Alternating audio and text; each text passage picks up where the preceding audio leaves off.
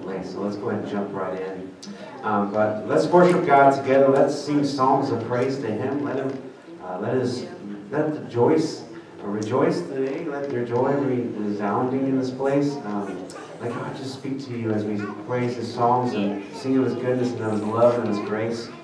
Lord God, I pray right now that you would just pour out your love and your presence over us, Lord Jesus, that your everything that we do would be in line with your truth and your goodness. And I pray, Lord God, that you would just take us past ourselves and into the glorious wonder of knowing you and being in your presence, Lord. Every day, Lord God, grow us closer to you, Lord Jesus. In your holy name we pray. Amen. Amen.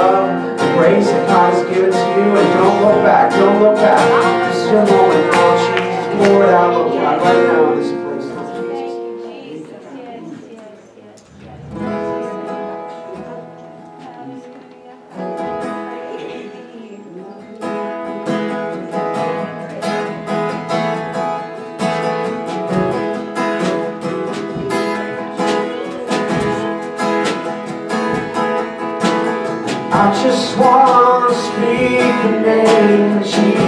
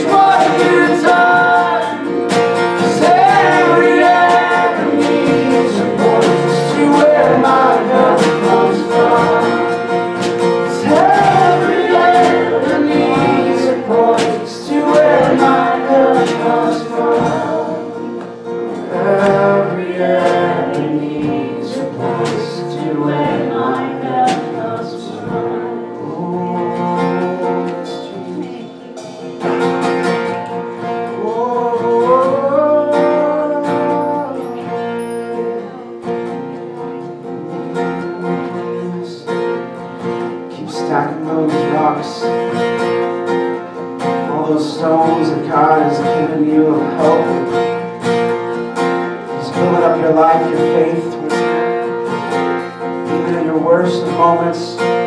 He's there, He's giving.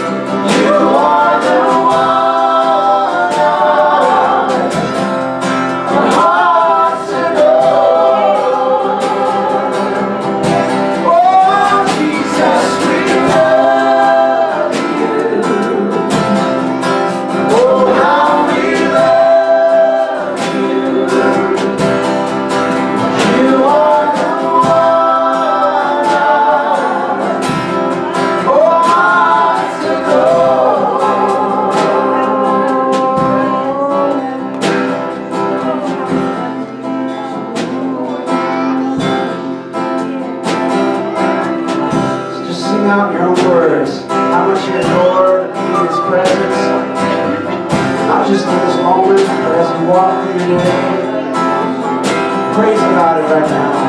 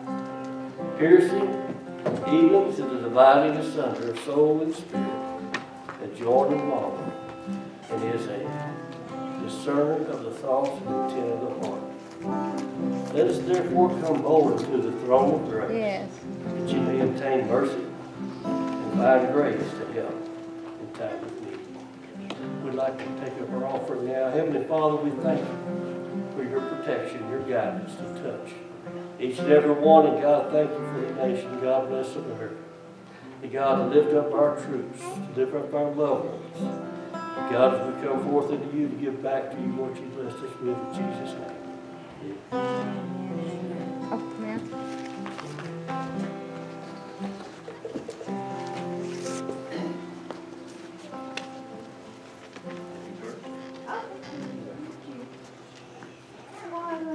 Wonderful praise session. Oh, I just love praise session. We got a few announcements that Pastor wanted me to make today, but I do want to bring it to the fact, if you got a, uh, a bulletin, um, in there is a list of the uh, upcoming events. So you can take that and put it on your refrigerator or whatever you want to do. But also in the bulletin uh, that I want to bring to everybody's attention is the prayer, the people who need prayer.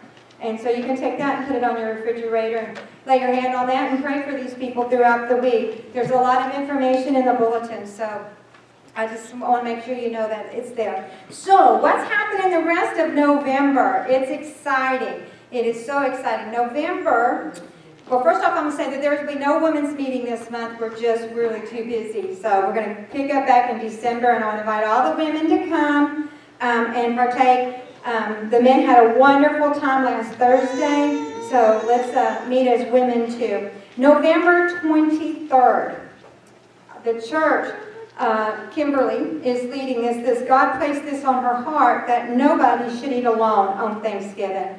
Nobody should be in their house by themselves with no family or maybe no food. So Kimberly has, has uh, moved forward on what God has um, told her. Pastors generously opened the church. So November 23rd, yes, Thanksgiving from 11 to 2. If you know of anybody who uh, is eating alone and maybe don't feel comfortable coming to your house with um, all your family, then please invite them to the church. We're having traditional food. Um, we're having Thanksgiving turkey and ham and all the sides.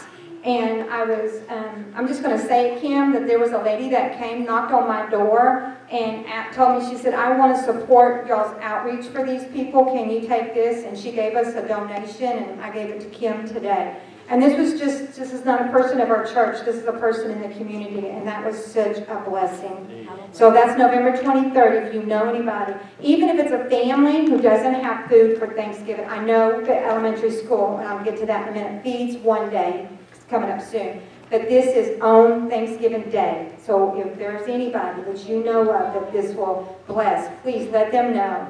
The names uh, of who they can call is in the bulletin. November 26th is our luncheon here in honor of our soon-to-be pastor's wife. We're so excited. Her name is Katie Cannon, and she will be visiting in just eight short days, from what I understand from Pastor this morning. It's not like he's counting it or anything. So we're having a luncheon to honor her on November 26th. So bring your best dish. Let's show her how much we love her, her fiance and how much we're going to love her. Now, and also on the 26th is our first children's practice. We are going to have a children's program because we're stepping out in faith. We only might have three or four now, but we're having a children's program. So if you have a child or a grandchild, um, let please let them be a part of it. We're going to practice after church. You don't have to bring them back another time. Um, so they're going to practice right after church. Now, 26 is a little different because we're going to have the luncheon and the practice, but it'll all work out. Um, community Thanksgiving, like I just spoke about, is November 19th at the elementary school. It is free. You want to come eat Thanksgiving dinner. You didn't want to cook it, but you know, you can go over there to the elementary stu- uh, school and get some really good food. So I believe that is all the announcements that I have. So I'm going to turn this back over to Pastor.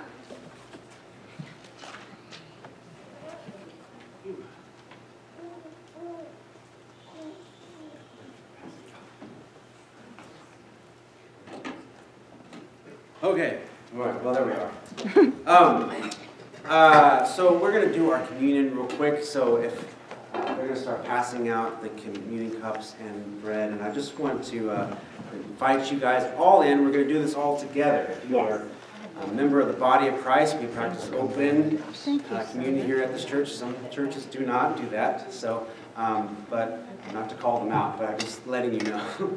um, but we practice it open, and we do so because you are part of God. If you believe in God, if you follow Christ, uh, we have our door wide open for you to join us in communion this morning. I hope that God blesses you throughout the process of it all.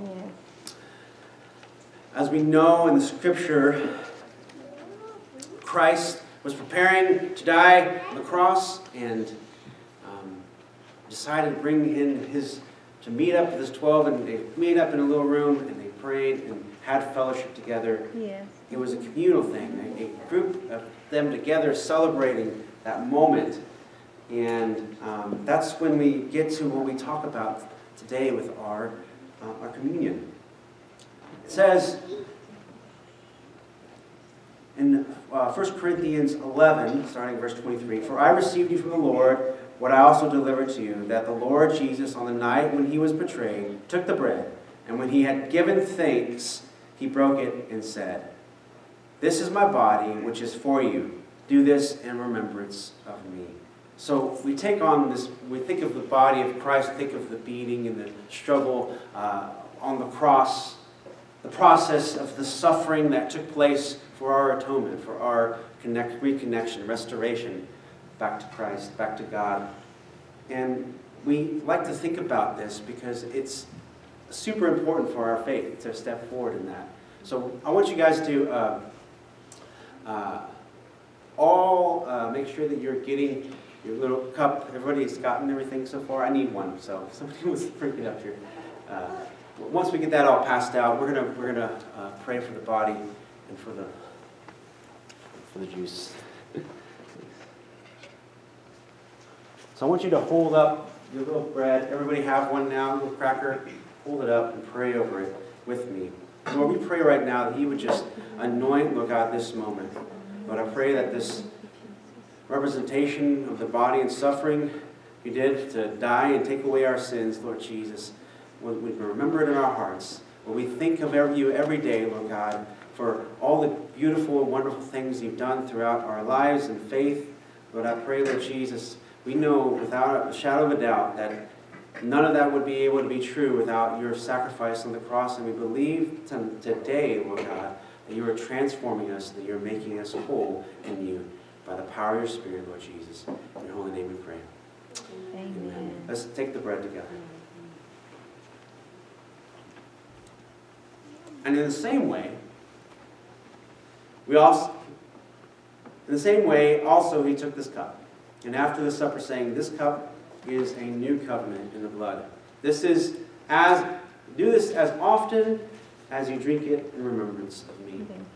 I had a professor in college that um, made sure to, to remind us that it says after after after they had eaten after the supper. Um, we, we try to rush these things together because we don't have a lot of time. But, but uh, it's important for us when we take communion to, to realize that there was a ton of fellowship in between those two elements. And a lot of uh, conversation and joy and, and gathering together. So we take part in that, in, in that joy of joining with Christ, or joining with the disciples as they remember Christ uh, and, and continue to do so after his death as they thought of him and this moment, not knowing what was going to be the outcome. They prayed and believed and trusted in God. And so we're going to do the same thing. We're going to remember the beautiful thing that God did for us on the cross. A wonderful moment of grace for us. So I'm going to pray over this. Lord God, I pray that you would just let this juice, Lord God, this cup, Lord, let it be anointed by your will and your way, Lord Jesus. That as we think of the blood that you shed on the cross, that we would know without any doubt, Lord God, of the safety we are in in your presence, Lord God, that our faith is secure by you because you did this for us, that you transformed us, even in our worst of moments. And even in our worst of moments to come, Lord God, I pray, Lord, we know that, the, that we can trust in you, we can have faith that you're going to bring us through, you're going to take us through the process. In your holy name we pray, Lord Jesus. Amen. Let's take this cup together. All right. Okay, amen. Okay, we have one more thing we have to do before we, well, actually, we have a couple more things, but I need to get all the little ones up here because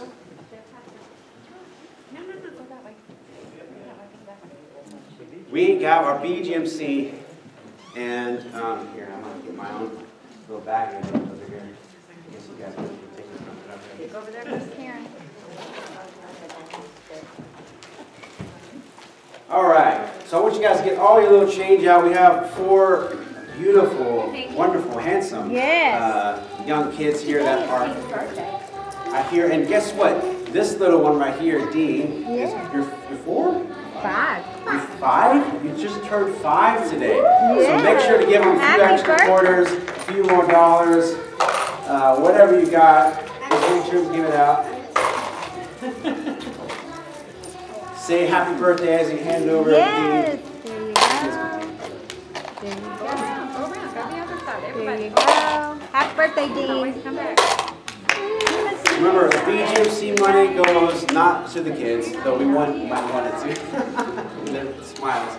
But we're giving these to help kids uh, have tracks and things all over the mission field, all over the world. Uh, it's an opportunity for kids to join in missions. And what a blessing that is. Yes. What a blessing, what a blessing. What a blessing. We got somebody over here, you guys gotta, gotta work your way around.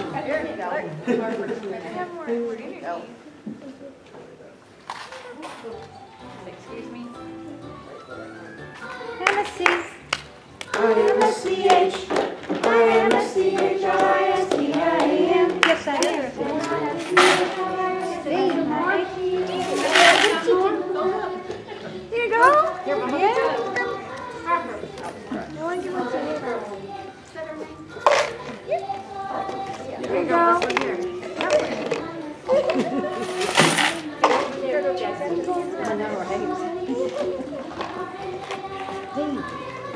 Look, Miss Joanne's got some back there. Uh-oh, Jackson's got them. S-T-I-A-M. Your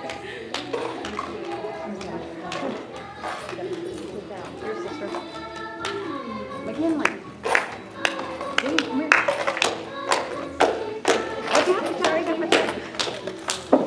Yard. Jackson. Here. Jackson, come here.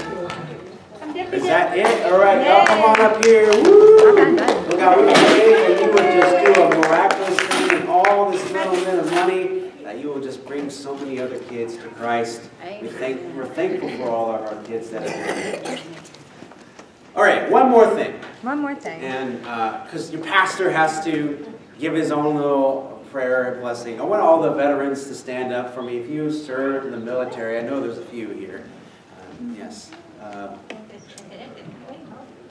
We want to thank you for your service on this Veterans Day. It's a beautiful American holiday. We recognize those that served in, in, in war. I, I, I'm I'm past my time to be able to.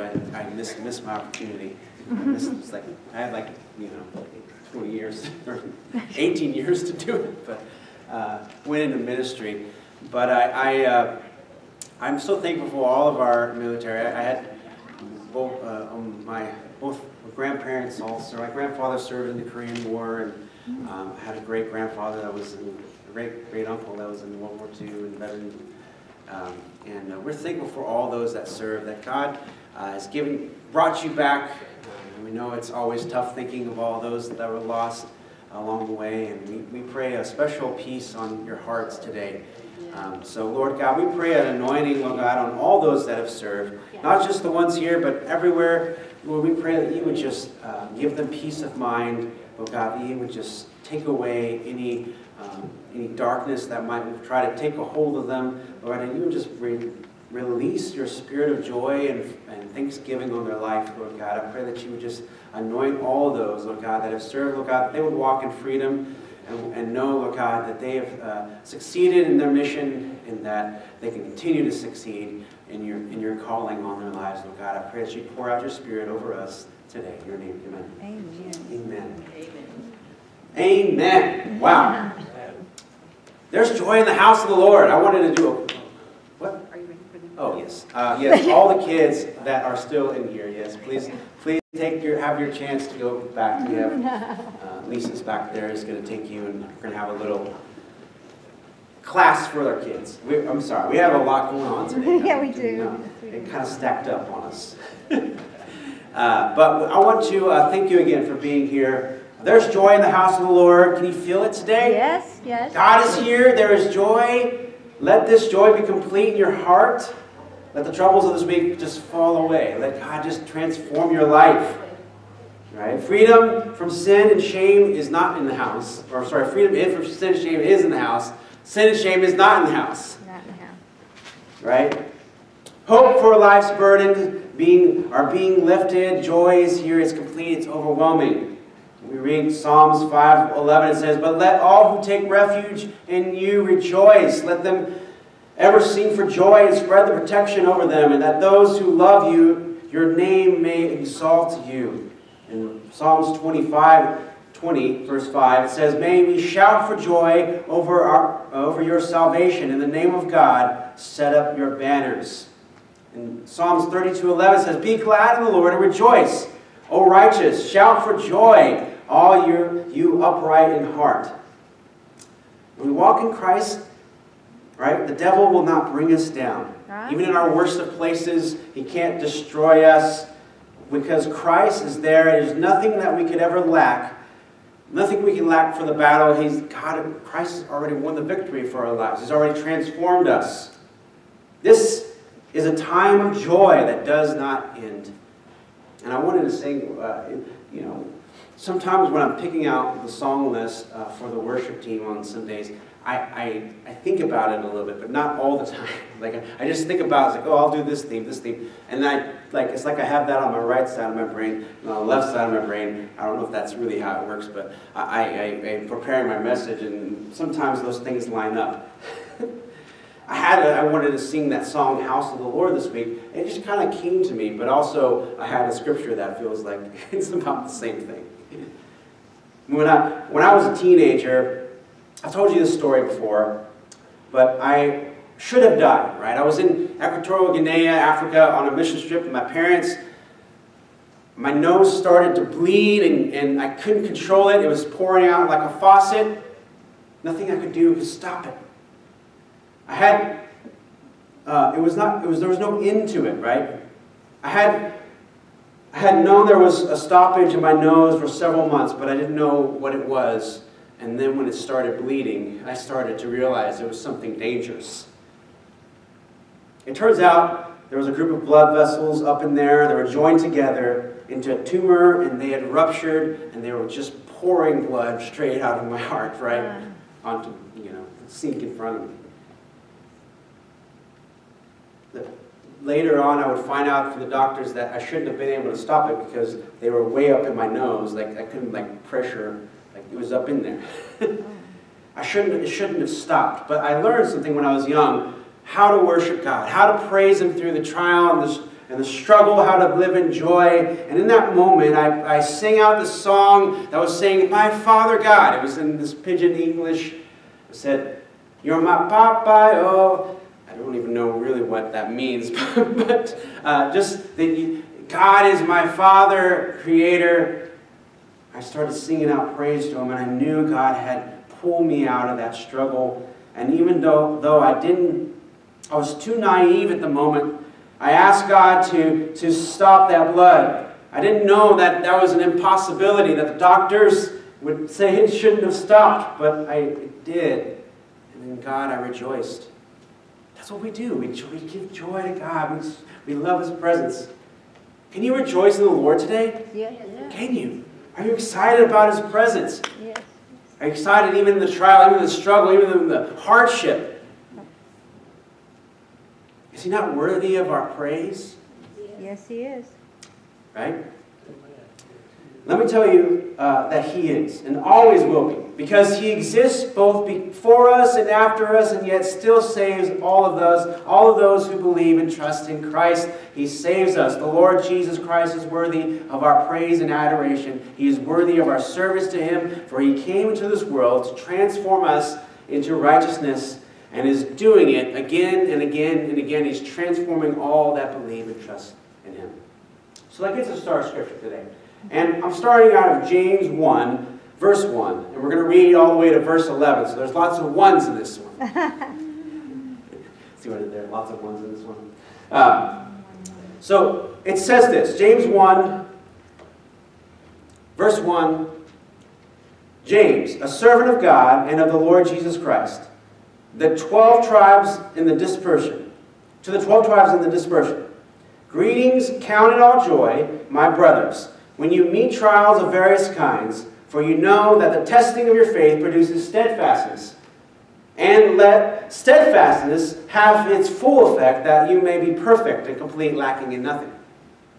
And if any of you lacks wisdom, let him ask God, who gives generously to all without reproach, and it will be given him. But let him ask in faith, with no doubting. For the one who doubts is like a wave of the sea that is driven and tossed by the wind. For that person must not suppose that he will receive anything from the Lord. He is double minded, unstable in all his ways. Let the lowly brother boast in his exaltation, and in the rich in his humiliation. Because, like a flower on the grass, he will pass away. For the sun rises in the scorching heat and withers the grass. Its flowers fall, and the beauty perishes. So also will the rich man fade away in the midst of his pursuits. Let's pray. Lord God, I pray that you would just anoint us, Lord, today by your Spirit. Let your love shine bright over us, Lord God. We pray, Lord God, that um, we would not lose sight of you. We would be in your presence, trust in you, believe for you, find wisdom in your scriptures and your word and your spirit, Lord God. And I pray, Lord God, that you would just grow within us the ability to walk in your freedom, to continue to walk in your freedom and not lose sight of you, Lord Jesus. Open our hearts today to your truth, Lord God. In your holy name we pray. Amen. Amen. Count it all joy. The command that James resonate, uh, this command that you know James spoke in this passage resonates to us today. Whatever might come along your path is not big enough to get in the way of God. It's not. No matter what you might think you might be strong and mighty and disastrous, it won't destroy you. We've been talking in our men's group about giants must fall. I keep mentioning this every almost every Sunday after. uh, but we've been talking in our men's group that giants must fall. We're talking about the story of David and Goliath, right? And this Goliath, this beast, this massive man, gigantic, unreal, standing in front of them, yet there was no fear in David, right? He was sure and confident in God. And one of the things that we can do is we can learn to be confident in what God is doing in our life. We can trust in Him. And to do that in the best way possible, we have to live in joy. Count it all joy, right? God has already passed uh, uh, God has already passed us. He's already passed the, the conflict, the trial that might get there. He's already passed it. He's waiting for us to see the path that He's put before us. He's already gotten us past it. We just don't realize it yet. We haven't been, or we haven't realized it yet. We haven't gotten through it yet. But the journey of it all is something that we can live in joy and completeness in. We can find uh, perfection because we, we count it all joy. We have we rejoice in the presence of God, knowing that these test, this test this trial, this perseverance, this endurance will grow us closer to God. We'll see more of His glory revealed to us. There's two possible meanings to the trials that James describes in verse 2. The inner enticement to sin, the inner desire to fulfill the flesh, brokenness that exists because of one's own selfish plan this is what James is getting at in, in, verse 14 when he says, But each person is tempted when he is lured and enticed by his own desire. We live in the curse of sin because we are from Adam, but guess what? The curse is broken, and that is all that is required is faith in Christ. So we could be talking about that. The other thing you can talk about is the external affliction and persecution. We see in 1 Peter 4 12, 14, Beloved, do not surprised, be surprised at the fiery trial when it comes upon you to test you, as though something strange were happening to you. But rejoice insofar as you share Christ's suffering, that you may also rejoice and be glad when his glory is revealed. If you are insulted for the name of Christ, you are blessed because the Spirit of glory and of God rests upon you. Aren't you glad to hear that today, right? Glory of God rests upon you. Whatever evil may try to come against you, uh, against and believe uh, your belief and trust, it won't destroy you. If you trust and believe in God, He will pull you through and He will reveal His glory in those moments. It will transform your life. It can be either one of these both, but James is discussing here um, it is important, either one of these or both, both of those uh, thoughts on trials. But either way, it's important to know that, uh, that God will pull you through. And there are transactions that James preaches about uh, here that I want, there's a transaction system here that he preaches about here that I want to kind of dive into. First off, these um, testing produces steadfastness. Testing brings along steadfastness. You can say like an arrow to steadfastness, right? The word for steadfastness is hypomone. Oh. For fortitude, saying power, heroic endurance, it's not meek, passive submission to circumstances, but a strong, active, challenging response in which the, uh, the satisfying realities of Christianity are proven in practice. So this quality is what Paul is describing when he wrote in 2 Thessalonians 1.4, when he you know, talks to, he's talking to the Thessalonians here. Therefore, we ourselves boast about you in the church of God for your steadfastness and faith, in all your persecution and in affliction that you are enduring.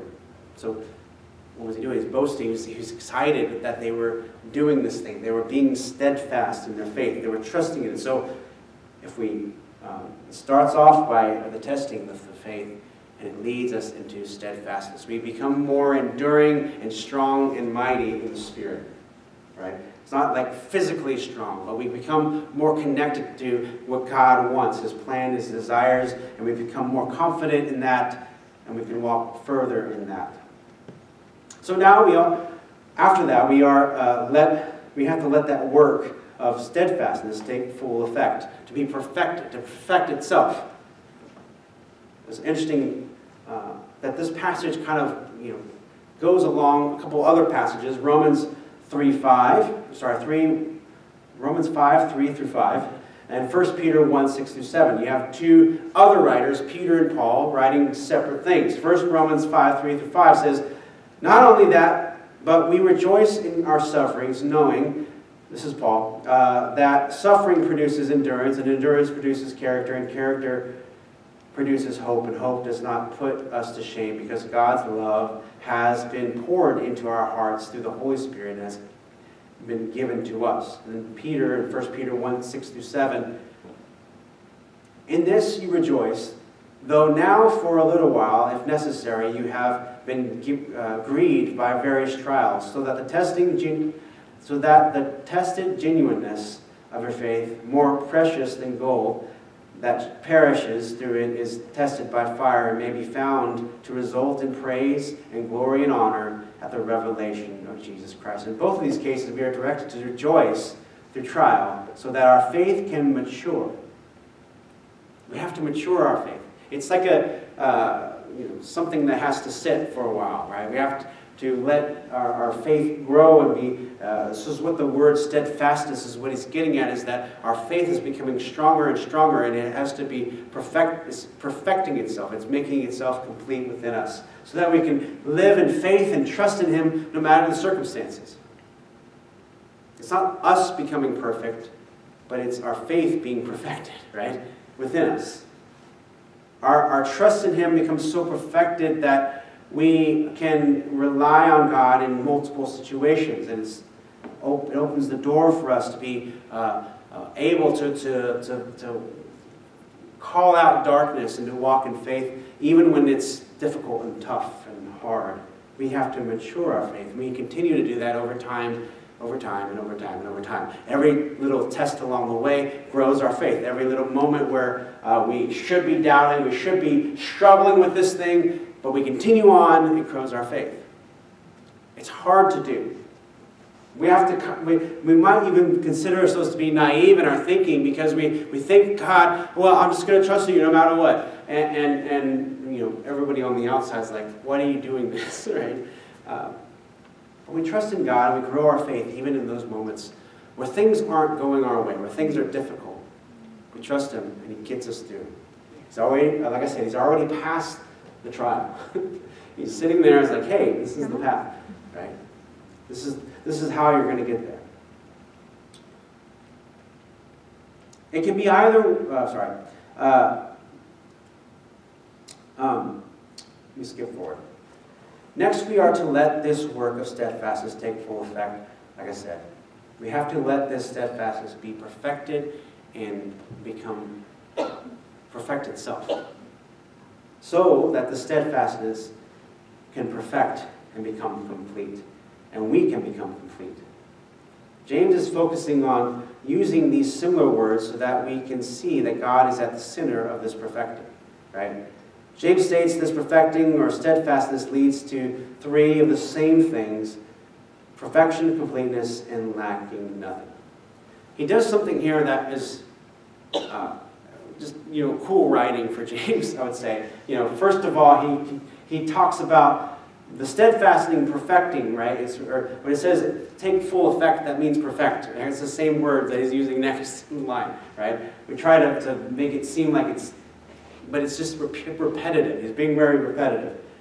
And then he's also going to be very repetitive with the word lack, right? He says, and lacking in nothing. He brings us to that point so that the next verse can continue on the same thought pattern, right?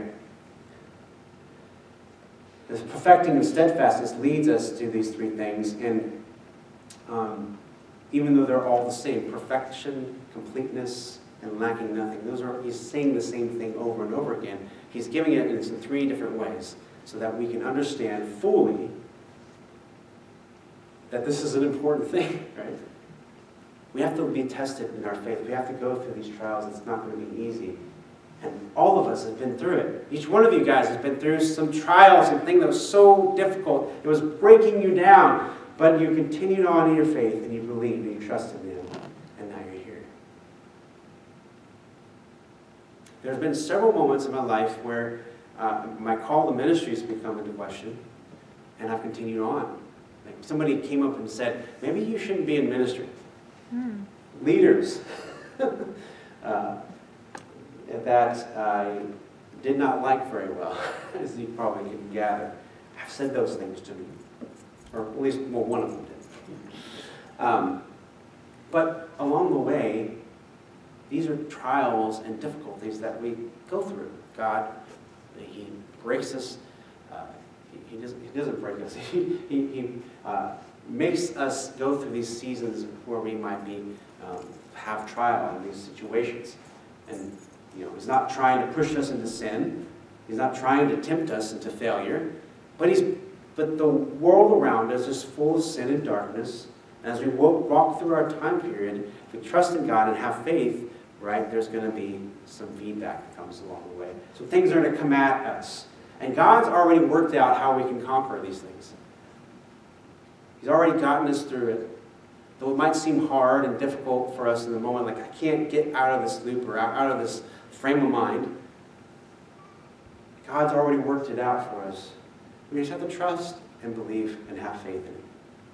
I think of, uh, you guys ever, I know you guys probably aren't into rock climbing. I'm not either. But I was thinking, trying to think of some extreme sports um, that uh, you might consider to be a little risky, right? You might think if somebody see somebody climbing up the side, especially if they're free soloing, if they're climbing out without any rope, they're just sticking their hands in the hole they're just climbing up this, you know, 200 foot wall, just putting their hands and things and feet, climbing it up.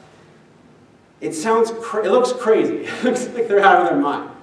And some of them are. They're, they're med, but they are measuring their risk, right? They know that these holes to them are pretty solid. For us, maybe not, but to them, these holes are pretty solid. And they've gone through this path many times before they attempted free right? At least attempted by themselves, by themselves. They've measured out and they've have confidence that they can do it. They might even say that it's just like climbing a ladder for them, you know, it's a really long ladder. Nice. Go straight up. If you imagine it like that, it sounds a little bit easier to climb up because most of us can climb a ladder. We don't usually want to climb ladders that are much higher than like four or five feet. But if you just take each step at a time, because they're confident that they can do these things, they just climb right up it. Same thing with other extreme sports. People are really confident. They, they know that there's risk, but they're confident in what they can control, the elements of it that they control. And so that lets them do these things, even though it might sound crazy. It's important for us to understand that this process, this process of us being tested, gives us that kind of confidence. Not in ourselves, not in our own ability to do things, but in God. We become more confident that God is going to take us further and trusting in Him. We need not lean into trial or let it, or, or let it uh, oh, sorry, we don't want to try to go out and be risk takers like, you know, people that climb mountains and stuff like that. But those trials are going to come along the way all the time. They're going to get in our way all the time. Moments like these will cause us to, uh, to think about our faith, right? But if we're confident, these things will give us confidence, right? If, we're, if, we're, if, we're, if we trust and have faith, we'll get confidence from it, right? We'll be stronger all the way. We'll, not because of our own ability, like I said, but because of God.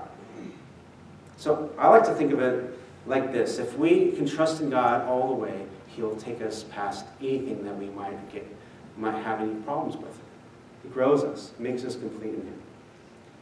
In 2 Timothy, uh, sorry, 2 Titus 2 2, it says, Older men are too sober minded. This is uh, uh, what trying, Paul's trying to tell Titus to be the certain thing. Older men are to be sober minded, dignified, self controlled, sound in faith, in love, and in steadfastness. We see this word steadfastness because it's described of God a lot, especially of his love uh, in the Old Testament. It's a different word, but uh, we see a, a, word of steadfastness or, or continuation, uh, a description of God always being there, always being ready to go. It's kind of like faithfulness. We see that throughout the scripture a lot too, describing God. We have to live in that same sort of mindset of, I want to get to a point where I'm confident in who I am, that I can be steady and ready to go, no matter what might come my way. That's good. So, the next thing is, what you lack, God will give you. In James 1.5, if any of you, it said, if any of you lacks wisdom, let him ask God, who gives generously to all without reproach, and it will be given him. It's one of my favorite parts of this passage. He gives generously without reproach. When we think that we lack, we learn God does not, right? And now Proverbs 8.12, I'm going to read a few Proverbs here in a row, so you guys sit back a little bit. Proverbs 8.12, it says, uh, I, wisdom, dwell in, with prudence, I, and I find knowledge and discretion. And uh, two verses or later it says in 8.14, I have counsel and sound wisdom. I have insight. I have strength. A little bit further down, uh, Proverbs 8, 35 to 36. For whoever finds me, talking about wisdom here, finds life and obtains favor from the Lord. For he who fails to find me injure, uh, injures himself, and, who, and all who hate me love death. We grow our faith by growing our wisdom, so that the trials that may take may not uh, that come our way may not may take effect, right? And may give us more confidence. Those trials, those testing, those testing of our faith, they'll work their process out in us so that our faith is magnified, not destroyed. Proverbs 9 17 says, Whoever corrects a scoffer gets himself abused, abuse. And he who reproves a wicked man incurs injury. Do not reprove a scoffer, or he will hate you. Reprove a wise man, and he will love you. Give instruction to a wise man, and he will be still wiser. Teach a righteous man, and he will increase in learning. The fear of the Lord is the beginning of wisdom. Knowledge of the Holy One is insight. For by me your days will be multiplied, and years will be added to your life. I, I want to read that whole section because um, there's something important you, you see in there is that those that are living in wickedness, like we can't correct them, right? It just will reflect back, they'll just attack us. the people that we can correct are those that are already living in wisdom, right? When we give wisdom to wise people, right, they grow from it. We give wisdom to those that don't want to hear it, they're going to just be worse, right? As believers, we feel like compelled all the time to get online and, and correct people for bad behavior, people though we don't even know, they're like friends of friends. Um, but if they're not living for God, if they're not living in Christ, if we don't have a relationship with them, more, more importantly, uh, they're not going to take that wisdom from us. And many of you guys know that you have family members that you've tried to say good things to them about, about being better in this and being better in that, and it doesn't really work out that well. The key is sharing your faith, sharing your witness, your testimony to them. That's the only way they can really understand because guess what? We can't correct them, but the Spirit of God can correct them. So we call conviction, right? It, it, gets in their heart and like makes them feel. Make, you guys felt it when you guys were saved. You felt like this gooiness, like God, I feel like I need to go to the altar and just, just uh, a desperation to be in God's presence. I guess gooiness is not a good word for it. uh, a desperation to be in God's presence, and we uh, we depend on the Holy Spirit to do that. But we can't if we try to correct those that are in wickedness, in darkness they're not going to take it very well. I, I love this idea is that if we're living in faith, wisdom can only magnify that faith. It can only make us stronger and readier for the process. But if we're living in darkness, wisdom is completely lost to us. It's completely out of our understanding. So, as believers, we should trust and be willing to listen to wisdom even if it comes from weird uh, places, people that are being inappropriate, uh, we need to take on some understanding uh, of what they're trying to say. And hopefully that God is speaking to us in some other way, not just in somebody coming after us, right?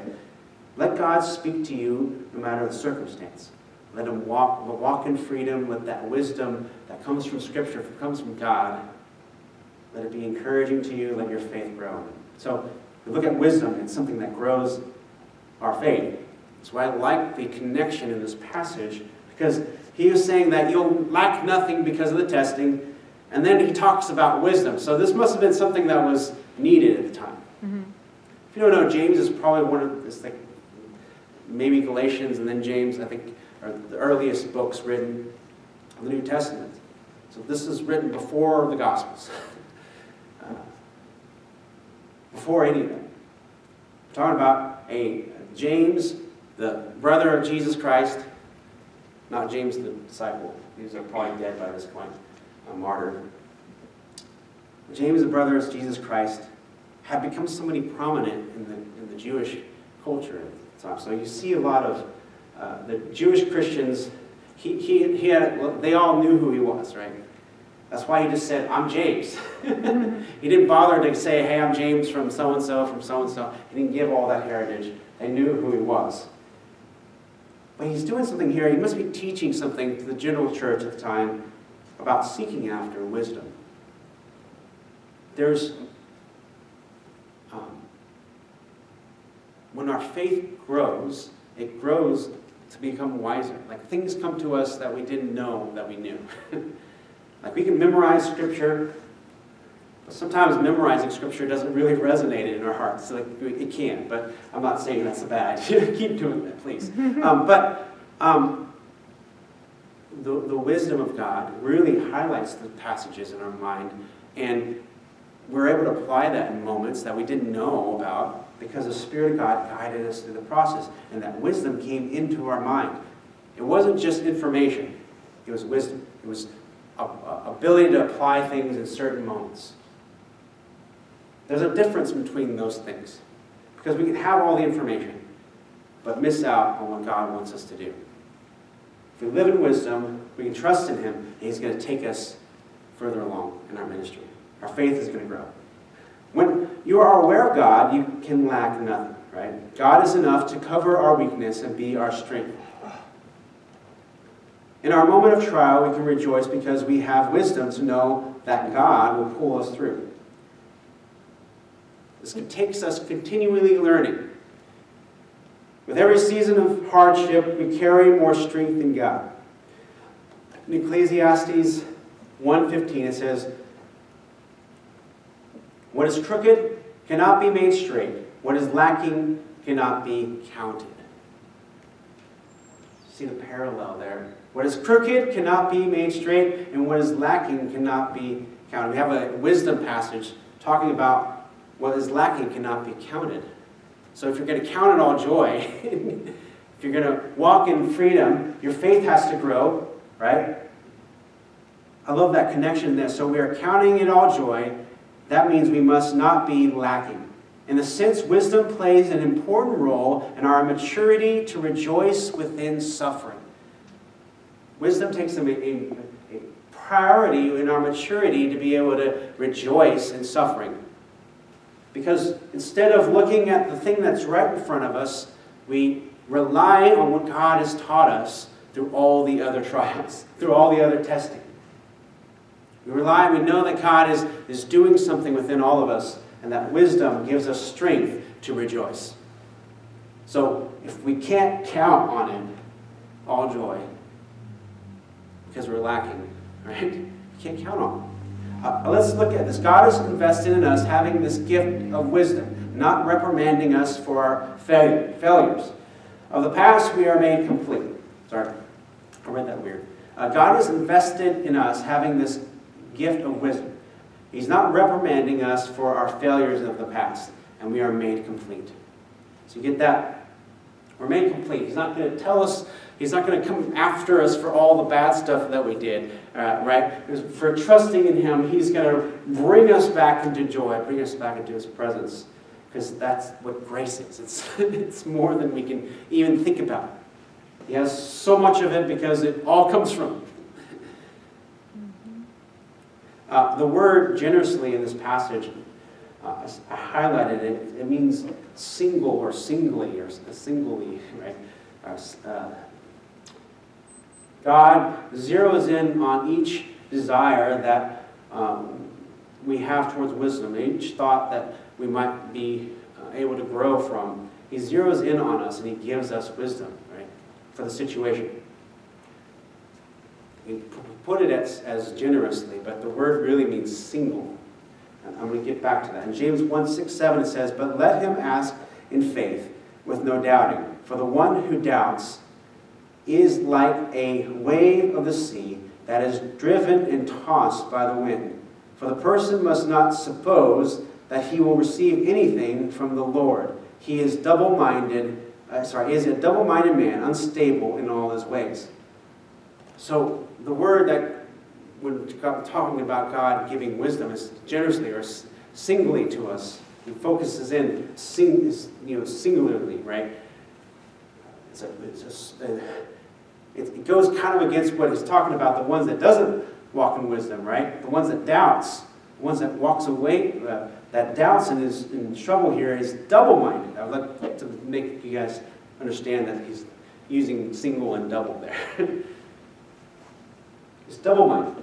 So it's the negative of it all, is a double-minded person. We're not just thinking about God. We're thinking about, we're focusing our life on the world as well. We have to focus in on God in a singular way, right? We have to uh, not ignore the world around us, but realize that our doubt is the negative of faith. It is often the trials that will make us question our resolve. But fear not and let God be God. In Matthew 11, 22 through 23, it says, And Jesus answered them, Have faith in God. Truly I say to you, whoever says to this mountain, Be taken up and thrown into the sea, and does not doubt in his heart, but believes that what he says will come to pass, it will be done for him. You see how that passage is like kind of the opposite of our passage there, six verses six and seven. See, he's saying that have faith in God. Truly I say to you, this mountain will move. There's a parallel or a, a, a going in these passages is that you know this is a passage from Jesus in Matthew. Again, James is written before these Gospels, but these are references, there's things that, sayings of Christ that were being passed around. Um, not collected yet, but they were being passed around. James is relying on this, and he says faith gives God control of our situation, basically. Doubt subjects us to the elements of things around us. Do you get that? Faith gives us gives God control of our situation. Right? Doubt subjects us to the elements around us. So in our passage, the one that doubts, right, is like a wave at the sea, is driven and tossed by the wind. But when we have faith, we can say to the mountain, move, and be taken and thrown into the sea. You see those similarities there, right? James is teaching us something that they had already been learning through Christ, but you know, they hadn't put it all together in this passage yet, but he's pointing to it right there as a message of faith is something, uh, he's teaching the same message that, that Christ is teaching us. That faith gives us control of our situation, or it gives God control of our situation. We, we, we think that, um, I'm, I, want to say this really carefully because um, it's not that God has, doesn't have control over our situation all the time. But we can get ourselves underneath God's presence and, and, and try to go against what his plans are, right? When we don't have faith. We get locked outside of his plans because of our own selfish desires, right?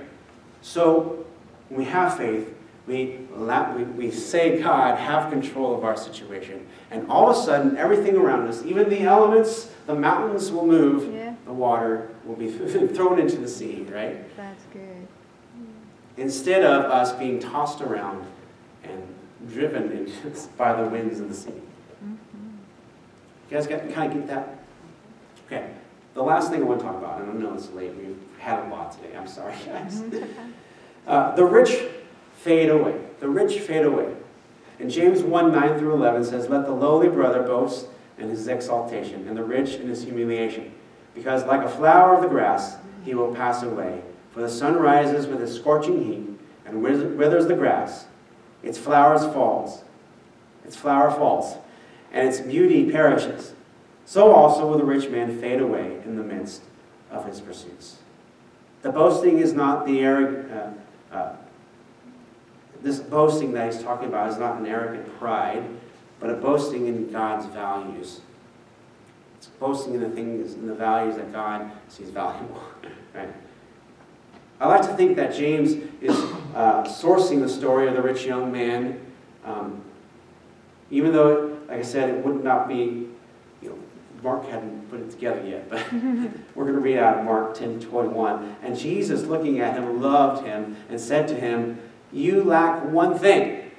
This is what he's telling the rich young man. You lack one thing. There's that word lack again, right? Go sell all that you have and give it to the poor, and you will have treasure in heaven, and come follow me. Wealth can inhibit us from following God's provision. We're not going to lack if we have faith, right? So, if we continue in that, we shouldn't, we shouldn't have any problems, right? But what Jesus is saying in this passage in Mark, and also it's also in Matthew, uh, is you lack one thing. You have to give up your wealth. It's hard for us to give away our comfort, our wealth. That's what we talked about again in Giants Must Fall this week for a men's group. So come next time. uh, we talk about comfort must fall. But we, we, we carry all this wealth and all these, these material things around us. That's Americanism, right? we have tons of things uh, that make us feel like we, we can do, we can live our life. Right? We have schedule electronics and, and, and uh, we have the perfect uh, sound system in our car that can give us map and guidance. And all these things are comfortable things for us. And they're all things that we don't really need, but in our society now you need them. but we can't store up these things all the time. We have to be willing to let them go because guess what? Wealth doesn't go with us to heaven. And it can inhibit us from realizing God's provision. if we trust more in the things that we have, we lack trust in God, right?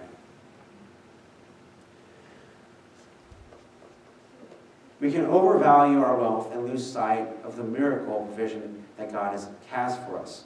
In Matthew 5 3, um, and then we're going to read 10 through 12. It said, Blessed are the poor in spirit, for theirs is the kingdom of heaven. And we're skipping to verse 10. Matthew 5. This is the Beatitudes. Blessed are those who are persecuted for righteousness' sake, for theirs is the kingdom of heaven. Blessed are you when others revile you and persecute you, and utter all kinds of evil against you, falsely on my account. Rejoice, rejoice, and be glad, for your reward is great in heaven. For they persecuted the prophets who were before you. Again, we see that rejoice in the middle of persecution. It's a common theme, right? Mm-hmm. And Christ was telling us about it at this point in time. Wildflowers, you know, they only have a short period of time, right? We, we, the blue bonnets come like March, April, uh, the, the uh, Indian paintbrushes and the, uh, what are the, oh, the wildflowers. But they come for a season and they're gone, right? And You're right. Another season comes and they come back. That's the way wealth is described in this passage, is that wealth is there only seasonal, right? There'll be times when you live in great abundance and have a, a, job that's providing you to do all sorts of things, go on all sorts of trips, but you can't live in that space all the time. It has this beginning and end. It's got a cycle to it. I know that all of us, I know that I for sure, had that one job where I was making all this money. It wasn't like making a ton of money, but I had a job where I was making a lot of money, but it was getting in the way of my calling in the ministry. I was working at churches, full, like part-time, but I needed to be full-time. I needed to step out in faith. And all of us have had jobs that, you know, got in the way of our lives, right? They, they paid really well, and they were really great for a season because we were having all this stuff, but it got us out of focus on our lifestyle and our, our family and our, our, the people around us, our friendships. We, um, it's, it's important for us to realize that wealth, we have to work hard. We have to be willing to, to be good stewards of what God gives to us. But it can inhibit us, like I said, it can take us away from seeking out God's provision, for God's wisdom. We look to the wisdom of the financial situation or the material things and not the wisdom of God. Not the wisdom of God. And we can, um, it's important for us not to focus in on our finances all the time. And I, I remember a few weeks ago, I, we were in our prayer on Sunday, it was like, I guess it's almost a month ago now. I was praying, I was like, God, I want to see more financial freedom in this church. And with financial freedom comes, though, when we really give things to God. It's crazy. Like, you would think that we, um, are, when our, our giving is, is, is less, we can save more and survive. But it works the opposite. We have to continue to give to God and give over to God because guess what? Not because we are going to get blessed, but because God provides for us. He's always providing for us. And if He's not providing for us, then we're not giving enough. We're not really, uh, we're holding on to things too much. Trusting in God is not easy. We can't seek comfort in building up our wealth and safety, but having faith takes us, um, uh, takes us out of that type of thinking. Continue to trust in God more than our wealth, then we're going to continue to see His provision. And the things that we are lacking, God is going to help us get through.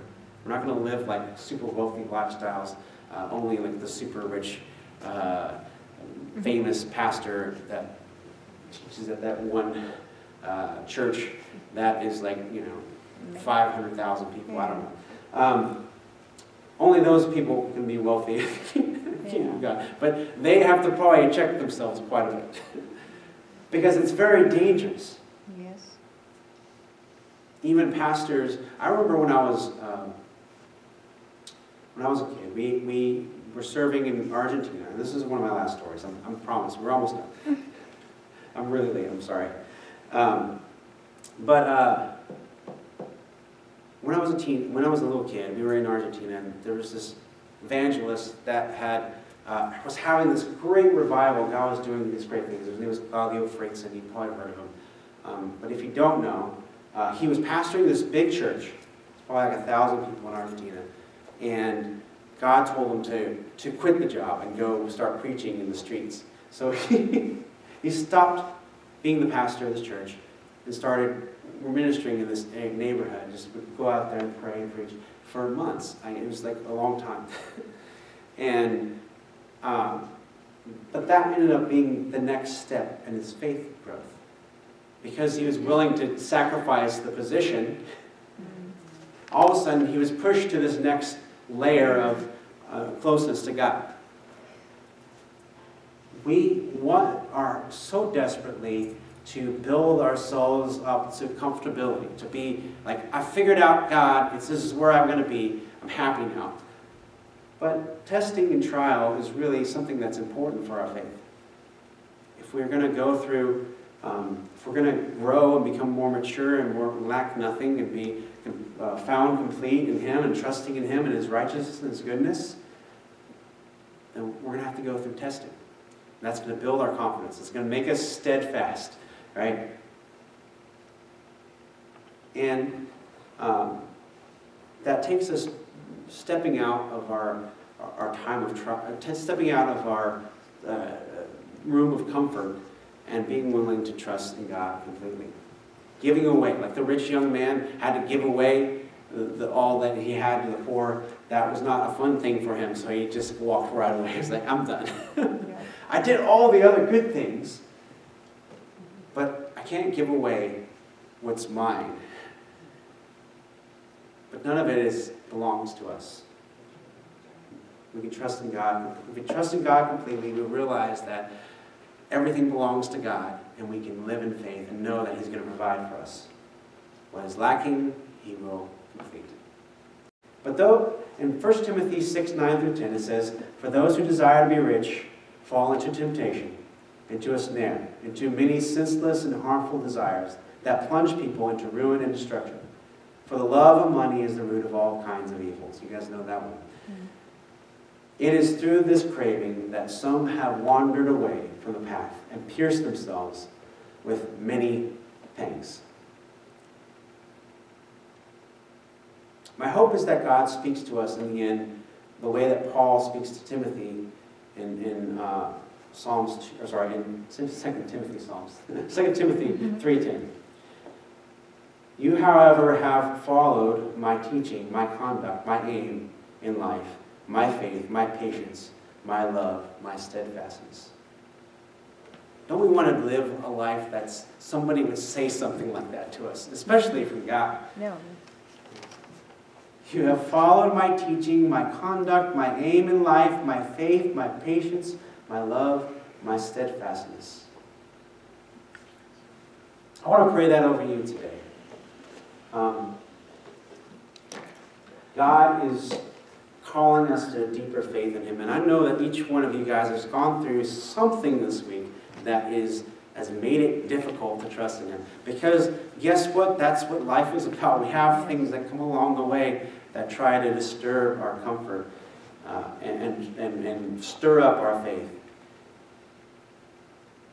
So I want to pray, and if you feel like you need to come down to the altar, we're going to pray for you down here. Um, but I want to pray over everybody. Everybody bow your heads and close your eyes. Lord God, I pray right now, Lord, that you would just help us to see the bigger picture, to realize that no matter the trial, no matter the struggle, we can count it all joy. And know, Lord God, that we can grow from those seasons of trial, those seasons of testing. That you will give us, make us more confident in who you are. That we won't lose sight of you. Lord God, I pray right now that you would just correct our hearts to not, to not completely lose track of your presence, to not be double minded, to not try to consider the darkness and the goodness and, and try to figure it out for ourselves, but to trust in you completely. To know, Lord God, that you're doing good things for us because we've seen it already. I pray, Lord God, that you would just transform our minds into being more and more like you. That whatever we do, whatever um, trial or situation we might go through, Lord God, that we would be wise enough, we would lack nothing, we would be confident in who you are, and be steadfast, be patient and kind and loving and careful in those moments to walk in your favor, to walk in your trust. Lord, I pray, Lord God, that you would take away, melt away all our desire for selfish pride, all our desire for wealth and comfort, and help us to really seek out the comfort of knowing you, Lord God, the, the value of knowing you, the things that you value, so that no matter the circumstances, nothing will get in our way. Lord, guide us in our pursuit of you. In your holy name we pray, Lord Jesus. Amen. Amen. We'll open the altar for a little bit, and we'll play a little bit of uh, worship music. Um, I just want to open it up for those that um, need prayer. So we're going to, I want you guys to, to stick with us for a couple more minutes and uh, pray with us. Um, and anybody, if anybody um, would prayer. Jesus.